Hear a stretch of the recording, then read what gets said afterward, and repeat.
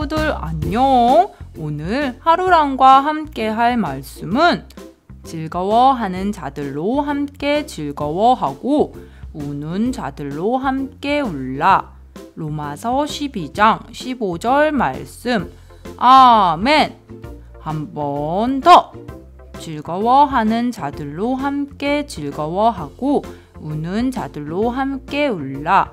로마서 12장 15절 말씀. 아멘. 모두가 즐거워할 때 함께 즐거워하고 울 때 함께 울어줄 수 있는 우리 친구들이 되길 바래. 내일 또 만나. 안녕.